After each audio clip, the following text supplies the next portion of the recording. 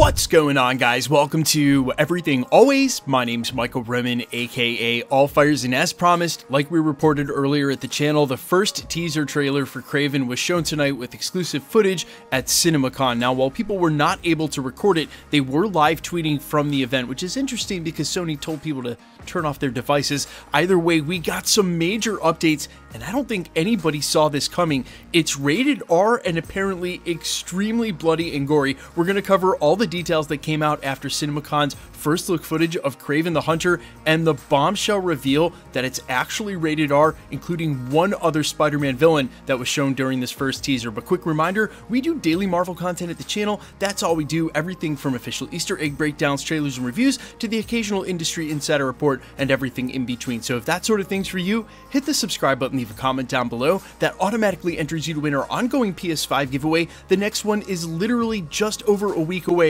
to coincide with Guardians of the Galaxy release. Again, all you got to do, be a sub, leave a comment on the video, stick around to the end of the video, we get into all the giveaway stuff again there. Okay, so first up, before they showed the teaser, Sony confirmed that this will be their very first rated R Marvel movie, and following in the footsteps of movies like Logan and Deadpool, the teaser trailer they showed was apparently extremely violent and bloody, and this according to multiple sources. Brandon Davis over at comicbook.com, a buddy of mine, tweeted out that it was, quote, gritty and bloody with a few F-bombs. Aaron Taylor Johnson actually bites a dude's face off and spits it out towards the camera. According to the Hollywood Reporter, this is during a scene where six poachers are approaching and Kraven is able to dispatch and kill them again in a bloody mess rather easily. Past that, Aaron Taylor Johnson was happy to exclaim on stage that it definitely was rated effing R and he holds up in the classic costume and even runs on all fours. He's out to be quote unquote nothing like his dad and it looks vicious.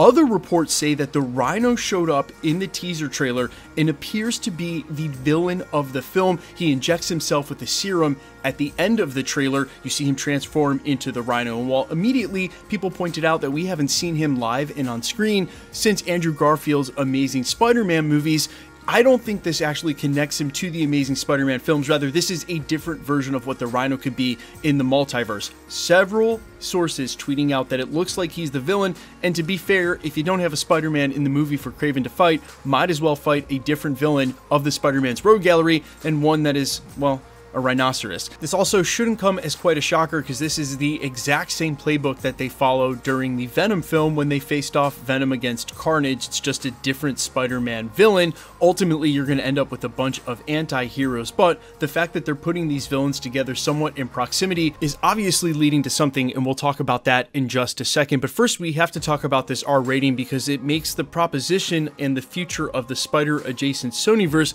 extremely exciting now that they're willing to take this chance. There were several articles over the last three or four years quoting people like Kevin Feige, the top brass over at Sony, that it was extremely and explicitly important to keep movies like Venom 1 and 2 PG 13 for the ultimate plans of crossing him over with Tom Holland's Peter Parker. That's why I've always said Sony's ultimate plan, no matter how many live action Peter Parkers we may see in the distant future at Sony, is to get Tom Hardy's billion dollar Venom franchise crossed over with Tom Holland's billion dollar Spider Man franchise. However, that needs to happen. The fact now that they're willing to make Kraven the Hunter rated R means at least there's an opportunity that Venom could be rated R, something it should have been from the beginning, and that means maybe a departure from the course that while we need to keep them PG 13 in case they cross over with our highly lucrative Spider Man, we want to keep them as friendly as possible. The majority of the demographic of people who still watch Marvel movies are well over the age to watch rated R movies, and while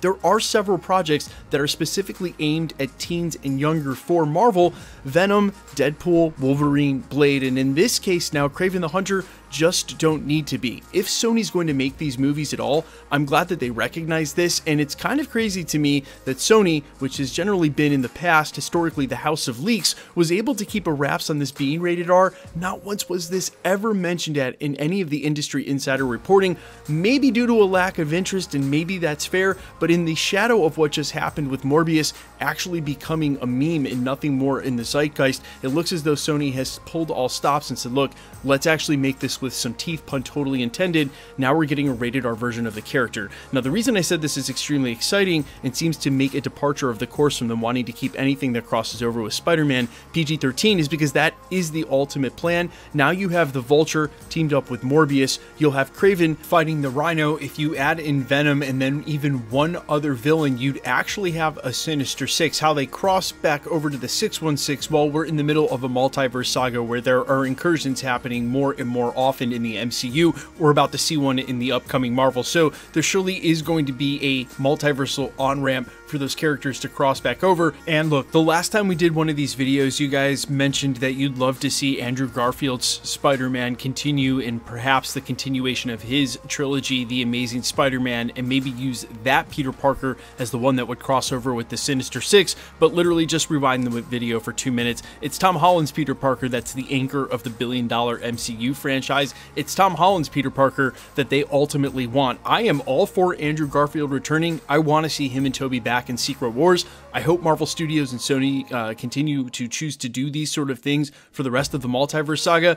Tobey Maguire's already on record as saying, of course, he'd come back. It would be fun. I'm sure Andrew would as well. But just the guys who are worried about the bottom lines, the suits, the lawyers, the executive producers cutting the checks, they see Tom Holland's Peter Parker as the most recent and most lucrative. That's why at least the initial plans were for that Peter Parker to cash in on all of these Rogue Gallery films. And I would be shocked if Sony's still making these solo Rogue Gallery villain movies with no real ambition of crossing them over. I know there's going to be at least some people who point to the rated R rating on Kraven perhaps being that, them just throwing it out and saying, hey, we don't really know what the future of this is, but sort of the opposite. With their expanded universe now headed towards Amazon, they have live action for both Silk and Spider Man Noir, with Madame Web establishing a more extended universe, and now with Spider Man Across the Spider Verse, their animated film referencing the events of what happened in the MCU it's more clear now than ever that they actually have a plan somewhere that they want to go with this. And following with that same logic, there's just too many Spider Man villains all in one place to not eventually see a Peter Parker. Uh, fingers crossed they sort of saw what happened with Spider-Man No Way Home and they go with Andrew Garfield, but it's hard for me to believe that that's what's going to happen. It's also hard for me to believe that Andrew Garfield would be anywhere near under some sort of contract to do this and it wouldn't have been all over industry insiders radar because well, again, Sony historically the house of leaks. Guys, let me know all your thoughts down below. How do you feel about a rated R Kraven the Hunter? I know in the announcement video from earlier today I asked if you guys were hype a lot of you said no. Does it change anything now that we know it's rated R? I am all ears quickly. Let's get into the giveaway stuff before I let you go. All right, we are still giving away a PlayStation 5. The next one is literally a week away uh, for Guardians of the Galaxy next Thursday.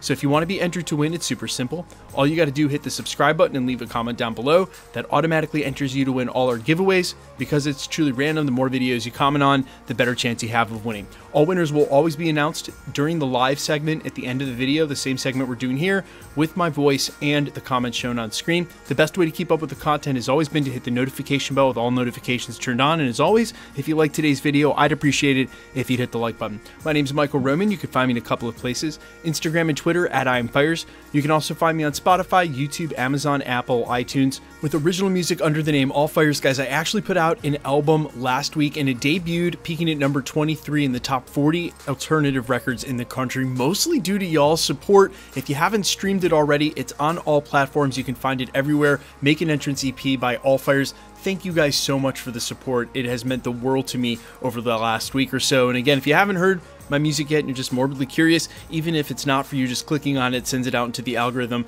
uh, to find people who do want to hear it. I uh, love you guys. I'll see you in the next one. Peace.